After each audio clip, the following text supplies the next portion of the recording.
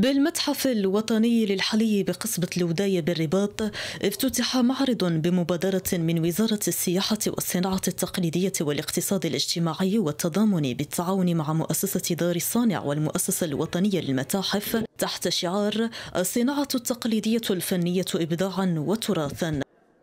العرض ديال المنتوجات ديال الصناعة التقليدية جا في إطار الأسبوع الوطني للصناعة التقليدية وكيبين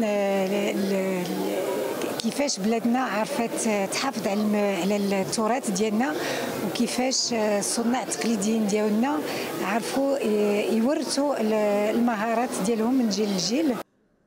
المعرض يشكل جزءا من الدورة الثامنة من الأسبوع الوطني للصناعة التقليدية ويقدم مجموعة مختارة متميزة بالإضافة إلى عرض قطع فريدة من المجموعة الدائمة الخاصة للمؤسسة الوطنية للمتاحف.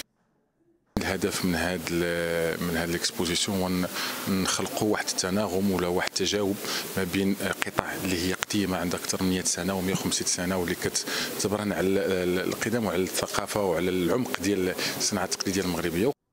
الحدث يساهم في حفظ الذاكرة وتخليد هذا الإبداع الفني المبهر الذي يعكس غنى وتنوع التراث المغربي الأصيل.